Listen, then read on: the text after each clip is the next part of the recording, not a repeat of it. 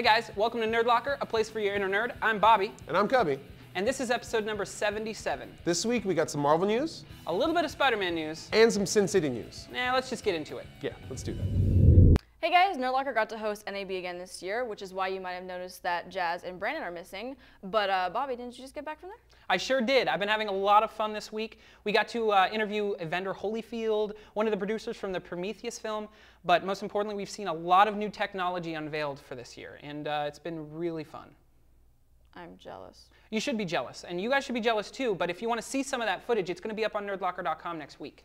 And if you can't wait until next week, be sure to check out our coverage from last year, including an interview with Kevin Smith and James Cameron on nerdlocker.com.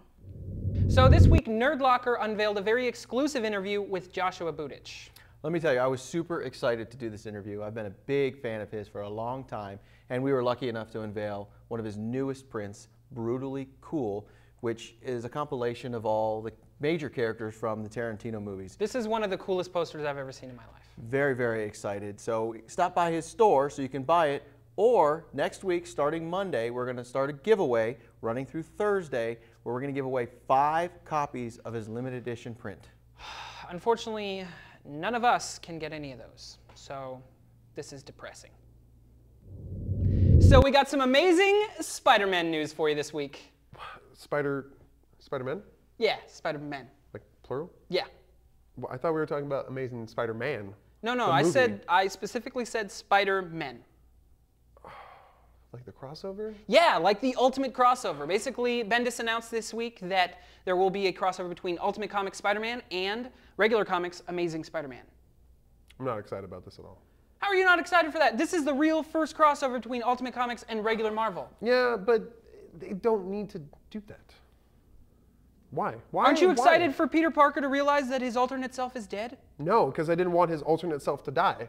I still don't want to believe that he's like I uh, believe well, he's dead, of course, but I don't want. Aren't you excited for him to realize that there's a new Spider-Man and No, No, man. why not? Because the Ultimate Universe was specifically created to restart everything. Shut up, nerd! What do you guys think about the news? Tell us in the comments below.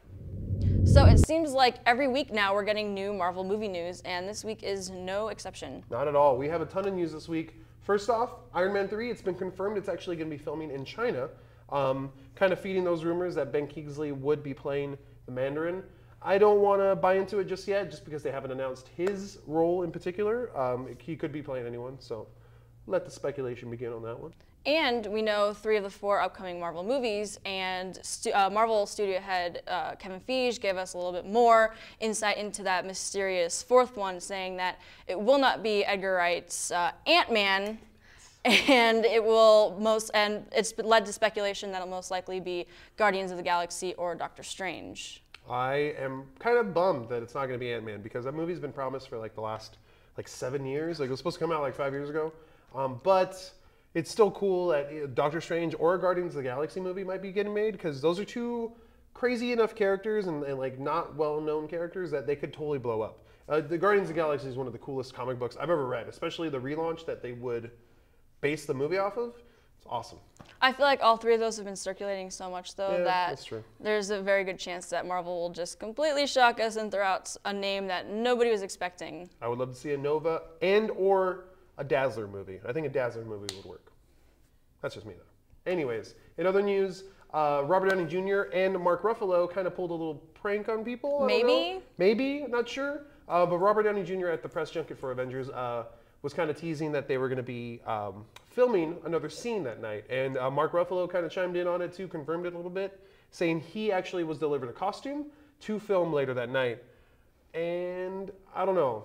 I don't know if it's for, for reals. Joss Whedon went in to say so much as no, they, that they're not filming. I don't know what they're talking about. Uh, his reasoning was that Mark Ruffalo can't dress up as the Hulk since he's CG, True. which I don't know if it hurts or helps this little prank Yeah, I don't know. because It could be- he could be Bruce Banner. He could be Bruce Banner. They could have brought him giant purple shorts that he just tore up. And he could have to hold them like Yeah. with, without a belt. That would be cool. That'd be funny to like have them sharing a drink with at that point. the reason that people are believing that this may be a little bit true is because Marvel, whenever they show films to preview audiences, they don't show the after the credits footage. So they're thinking that maybe they were filming that. I think they would probably have it already filmed. Yeah. Yeah, they might be doing a little teaser, a little thing here or there, maybe just having some fun. Or I don't know. Or maybe they were filming Avengers 2. All in one shot, in one night. Oh man. Oof. What if it's just Avengers 2 is just the Hulk and Iron Man getting drunk? I could watch that. I would watch that. Like The Hangover, but with the Hulk and Iron Man. So, for all you uh, Robert Kirkman fans out there, um, AMC has actually picked up another one of his works. Thief of Thieves is coming to TV.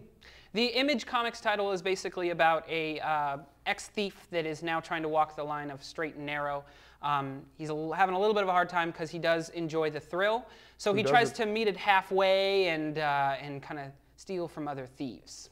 Yeah, he, essentially the character is pretty much Robin Hood meets Danny Ocean. He he steals from the rich, gives to the needy. Not necessarily needy. He just kind of gives it back. Just wants to steal it back. Um, it's it's a very interesting story. It's very very well thought out, but it's still really early in its stages. So to to hear that it's announced is kind of shocking, but. By the time it actually airs, we'll probably have a good couple story arcs. We'll be able to see how the story goes. So I I'm agree. stoked. It's it's very different from anything that Robert Kirkman's ever done before, but it might be right for television. I think so. Uh, only time will tell. What do you guys think about the news? Tell us in the comments below. So it's official. Sin City 2: A Dame to Kill For will start production very soon. And Robert Rodriguez and Frank Miller will be returning in association with the Weinstein Company again.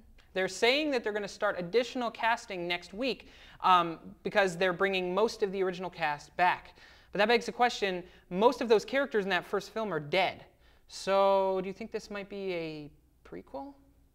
One Mississippi, two Mississippi, three Mississippi. Hey guys, uh, this these last few weeks I've had a little bit of free time on my hands, so I've decided to check out a certain website that uh, I've been meaning to check out for a while, codecademy.com. It teaches you a whole bunch of different things, and it's all for free.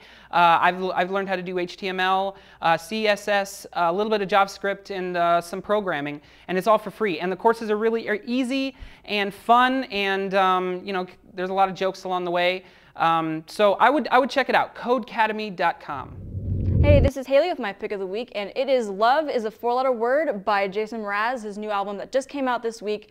And I can't stop listening to this. It's such a good feeling album that it's really positive. I feel like if I have a bad day, this is what I'm going to put on. I think it's going to be the soundtrack to my summer, and if you're a fan of him, it should be the soundtrack to your summer as well. Go pick it up. Hey there, guys. Cubby here with my pick this week. It's one of my favorite movies of all time. It's on HBO Go right now. I let a friend borrow it. and I haven't been able to watch it in, a, in like a year. Got to watch it last night. Boogie Nights. It's the best movie, in my opinion, ever made.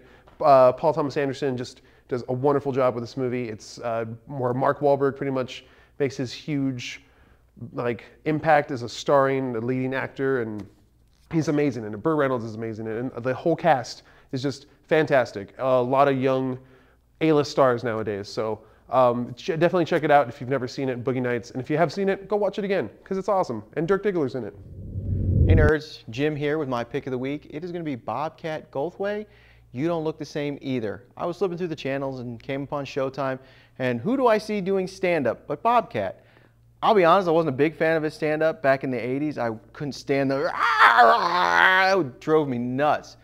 But listening to his stand-up now, hilarious. He is brutally honest. He prefaces everything like true story, and then he tells you these just weird, weird things that happened to him that they couldn't be made up. They're so true. I really love his directing. You can't really say dark comedy. They're funny, but they're really out in left field. I can't wait to see God Bless America. In the meantime, check out his stand-up, Bobcat Goldthwait. All right, guys, that was episode 77 of Nerd Locker. Don't forget to like us on Facebook Or follow us on Twitter. or subscribe to our YouTube page. Plus, be sure to check out nerdlocker.com for all your nerdy news. I'm Cubby, And I'm Bobby. and you guys have a nerdy week. Hell is going on anyway? Dude, I don't know. Some stupid thing. I'm surprised. Yeah, me too. Um.